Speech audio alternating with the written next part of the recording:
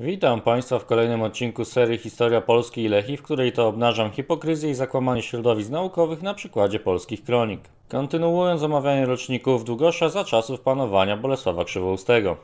Wracamy do oblężonego Głogowa. W czasie przyciągającego się oblężenia Głogowa nie było jednego dnia, w którym by Bolesław nie atakował dotkliwie i bez przerwy obozu cesarza. Z tego powodu cesarz nigdy nie mógł skierować całego wojska do oblegania miasta. Czyli Bolesław, mimo tego, że cały czas unikał stoczenia walnej bitwy z cesarzem, nie pozostawił Głogowian całkowicie bez pomocy, tylko dalej nękał wojska najeźdźcy i w ten sposób, wiążąc dużą część jego sił, uniemożliwiał mu zdobycie miasta. Jednocześnie w tym okresie Bolesław uskarżał się często przed swoimi na niegodziwość księcia czeskiego Świętopełka, proponuje wielką nagrodę temu, kto go zgładzi. Choć wielu marzyło o tym zadaniu i zabiciu wroga ojczyzny, dokonania zbrodni podejmuje się znakomity rycerz Jan z rodu werszowców, czyli Rawitów. I ostatecznie rzeczywiście zabija Świętopełka w namiocie cesarskim, przebija go włócznią na wylot, robi to na oczach cesarza i wielu dostojników, a następnie udaje mu się uciec z obozu cesarskiego. Także to jest naprawdę wielki wyczyn, warty nakręcenia dobrego filmu.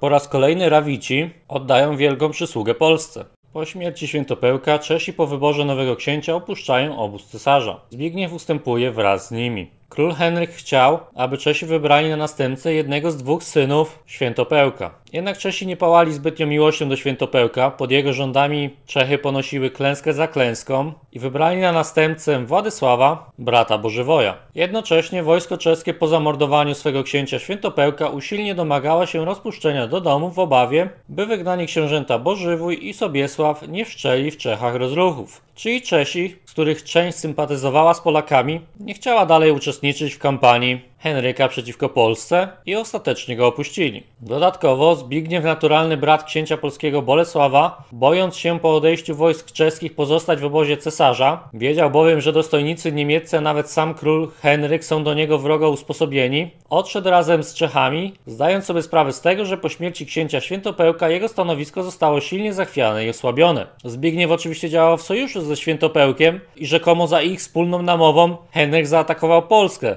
Jednak król niemiecki niemiecki tak naprawdę miał inne powody, żeby Polskę atakować, a Zbigniew i Świętopełek dostarczali mu jedynie dodatkowych pretekstów, żeby to uczynić. Prawdziwym powodem opuszczenia przez Zbigniewa wojsk cesarskich był najprawdopodobniej zwykły pragmatyzm i chęć dbania o własny interes. Zbigniew dobrze czuł, że ta kampania jest skazana na porażkę i zawczasu się ewakuował. Szczury zawsze pierwsze opuszczają tonący statek. Po śmierci Świętopełka cesarz Henryk zwoławszy naradę zastanawiał się, czy należy dalej prowadzić oblężenie miasta Głogowa, czy też wracać do Niemiec. I gdy wszyscy orzekli, że należy zaniechać oblężenia, które przyniosło więcej klęsk i strat w ludziach niż sukcesów, i że nie należy dłużej prowadzić wojny pod taką złą wróżbą, przybywają posłowie księcia polskiego Bolesława, przysłał ich bowiem Bolesław w nadziei, że po zamordowaniu księcia czeskiego Świętopełka łatwo nakłoni cesarza do pokoju. W przypisach pisze, że to najprawdopodobniej cesarz wysłał posłów do Bolesława, a nie odwrotnie. Jednak ja nie widzę podstaw, żeby nie zgodzić się tutaj z Długoszem. Bolesław miał swoich szpiegów w obozie cesarskim, znacznie osłabił on wojska niemieckie ciągłymi napadami, doprowadził do zamordowania Świętopełka, co odbyło się na oczach cesarza. Sam ten fakt musiał bardzo demoralizująco na niego wpłynąć. Przecież ta włócznia mogła przebić jego, gdyby taka była wola Bolesława. Dodatkowo Czesi i Zbigniew opuścili go, więc dobrotliwy król Henryk praktycznie stracił powód, żeby prowadzić wojnę z Polską. A Bolesław jako władca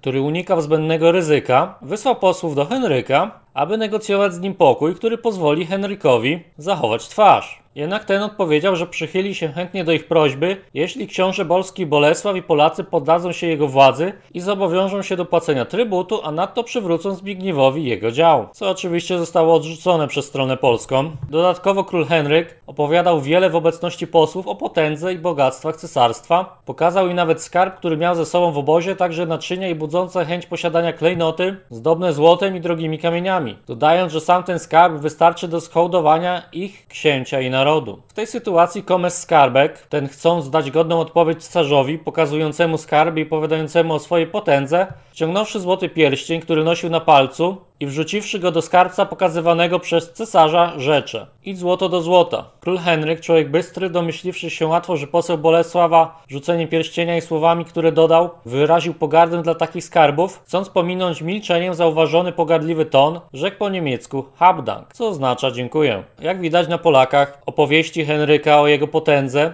oraz skarb, który zaprezentował, nie zrobiły na nich dużego wrażenia, co bardzo umiejętnie okazali mu. Ostatecznie poselstwo nic nie wskórało, a przyjaciele cesarza usilnie doradzali cesarzowi odwrót, by Bolesław nie otoczył go przypadkiem wraz z wojskiem i armia niemiecka zaczęła się wycofywać z Polski. Ale kiedy wojska cesarskie rozbiły obóz w odległości jednej mili od Wrocławia, książę polski Bolesław zebrał możliwie najszybciej wszystkie swoje siły ze swoich ziem, powiększył je nadto wielką liczbą chłopów, by stworzyć dla wrogów pozór silnego wojska. Doszło do bitwy między obydwiema armiami. Mimo, że wojska niemieckie górowały liczebnie nad armią Bolesława, szala zwycięstwa nie przychylała się na żadną ze stron. W największym zaś ferworze bitwy hufiet Ślązaków, których Bolesław trzymał w odwodzie, wystąpiwszy na jego rozkaz, runął z wielkim impetem z boku na wojska cesarskie i rozrywając szeregi Niemców, otworzył reszcie walczących żołnierzy drogę do wdarcia się między wrogów i zdobycia palmy zwycięstwa. Wrogowie ujrzeli go bowiem niespodziewanie i przerazili się. Cała też reszta ogromnego wojska polskiego, złożonego nie tylko z rycerzy, ale i z chłopów, odniosła zdecydowanie zwycięstwo.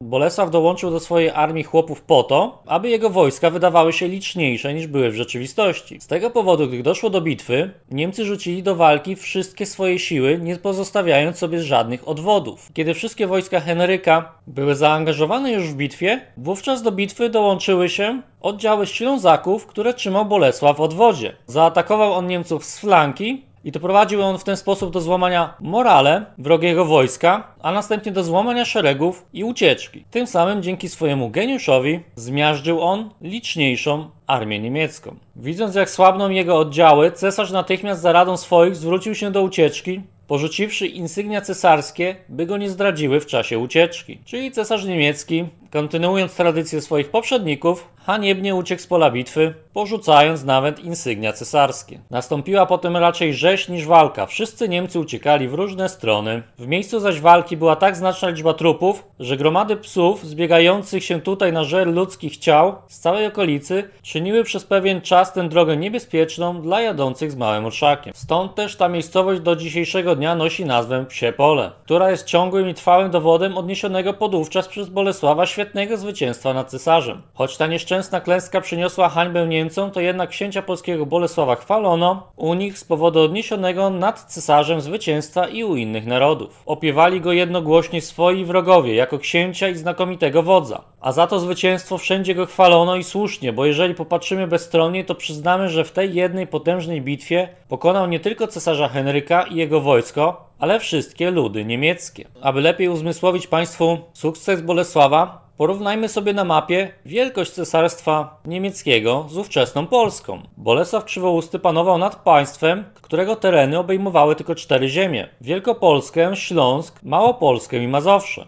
Natomiast cesarz Henryk skoncentrował armię z całego cesarstwa, które patrząc na tą mapę jest terytorialnie około pięciokrotnie większe od Polski. Podobno również ziemie kontrolowane przez cesarstwo były ludniejsze od ziem polskich. Jednak z drugiej strony moim zdaniem cesarstwo wcale nie było takie potężne, jak przedstawione tutaj na mapie. Co prawda może obejmowało te granice, ale faktyczna potęga cesarza była znacznie mniejsza. Proszę sobie przypomnieć to, co mówiłem kilkukrotnie na temat roli Czech w przechyleniu szali zwycięstwa na jedną ze stron. Henryk IV przegrał z Henrykiem V, ponieważ Czesi go opuścili. Wyprawa Henryka V na Węgry poniosła klęskę, ponieważ Czesi go opuścili. I również w kampanii polskiej wojska cesarskie zostały zmiażdżone dopiero po tym, jak opuścili go Czesi. A przecież patrząc na tą mapę, Czesi powinni stanowić 5, może maksymalnie 10% jego żołnierzy. I w takiej sytuacji ich brak nie powinien być zbytnio odczuwalny, ponieważ Henryk i tak miałby wielokrotnie liczniejsze wojska niż Bolesław. Jednak w praktyce wygląda na to, że władcy niemieccy nie byli w stanie zgromadzić wojsk znacznie liczniejszych od wojsk polskich, a takie małe państewko jak Czechy były w stanie wystawić armię, która stanowiła około 1 piątą do 1 trzeciej tego, co był w stanie wystawić cesarz. Przynajmniej do takich wniosków należałoby dojść, logicznie analizując tą całą sytuację. Oznacza to również, że potęga cesarzy niemieckich, o której się nieraz mówi w historii, jest mocno przesadzona. Jedno księstwo polskie, którym władał Bolesław, było w stanie zmiażdżyć armię tego rzekomo niezwykle potężnego władcy niemieckiego. W roku następnym, 1110, książę polski Bolesław udaje się do cesarza Henryka V z prośbą o pokój. W praktyce to Henryk zaprosił Bolesława na rozmowy pokojowe, a Bolesław przez długi czas wahał się, czy jest sens w ogóle się tam udawać. Jednak ostatecznie przyjął zaproszenie. Choć król rzymski Henryk bolał bardzo nad klęską poniesioną w Polsce, pod mizerną wioską Psiepole,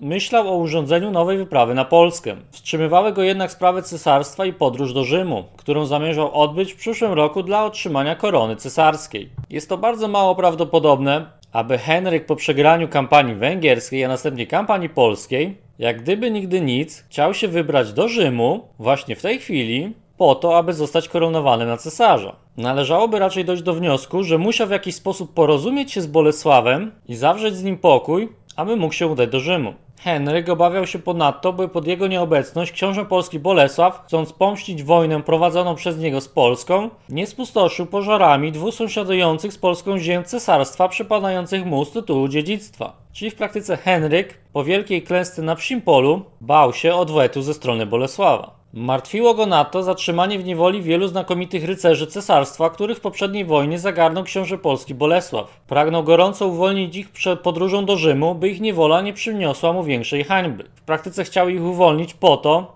aby przy jego boku byli jacyś żołnierze, z którymi wkroczy do Rzymu. Zachęcony przez doradców polecił zawrzeć z księciem polskim Bolesławem pokój. Książę polski Bolesław podjął prośbę, by mu dano za żonę siostrę króla, a synowi jego Władysławowi, zrodzonemu z Rusinki, córkę króla Henryka, piękną dziewczynę Krystynę. Na wszystkie te prośby zgodził się król Henryk bez wahania. Po uroczystych zaślubinach w Bambergu z siostrą cesarza Bolesław przywiózł do Polski w orszaku rycerzy cesarskich z podwójnym posagiem żonę dla siebie, a dla syna Władysława młodziutką, niepełnoletnią dziewczynę Krystynę. Wszystkich jeńców niemieckich wziętych do niewoli w czasie bitwy odesłał królowi rzymskiemu Henrykowi. Odtąd między posiadłościami cesarstwa a ziemiami polskimi i poddanymi obu stron panował całkowity spokój i przyjazne stosunki. A król rzymski Henryk zrzekł się na piśmie zamków i ziem zdobytych w Polsce, a w szczególności grodu Lubusz. I w ten właśnie sposób Bolesław Krzywousty, który zmiażdżył armię Henryka, zawarł z nim pokój, który w jego ocenie był dla Polski bardzo korzystny.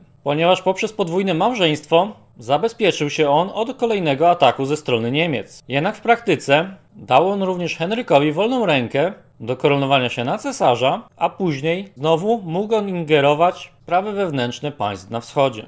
Ale to tyle jeśli chodzi o dzisiejszy odcinek. Zapraszam Państwa do obejrzenia następnego, w którym poznamy dalsze losy Bolesława Krzywoustego. Dziękuję bardzo za uwagę. Do widzenia.